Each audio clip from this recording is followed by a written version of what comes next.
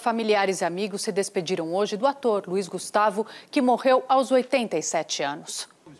Antes de marcar a história da TV com personagens inesquecíveis, Luiz Gustavo viu a televisão brasileira nascer. Mas ele estava atrás das câmeras trabalhando como contra-regra. Até que um dia faltou um ator em uma novela. A televisão era ao vivo e ele não teve escolha, teve que entrar em cena e mudou de vez de profissão.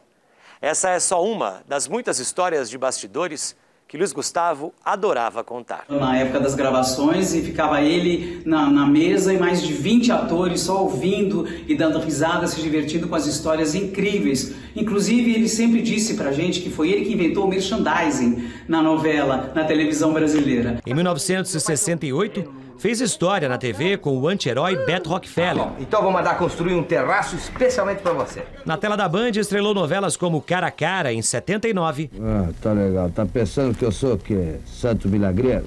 e Rosa Baiana em 81. Nos anos 90, acompanhamos o ator como pai que cuidava sozinho de quatro filhas. A série Confissões de Adolescente começou na TV Cultura, mas depois veio para a Band, onde foi indicada ao Emmy Internacional. Pode até dizer, vai chegar às 9 horas da manhã, mas se chegar às 9 e 10, o couro aqui dentro vai comer. Foi dele também a ideia de levar o teatro de volta para a TV. Em 1996, no humorístico Sai de Baixo. Eu disse ordem no galinheiro, tá entendendo?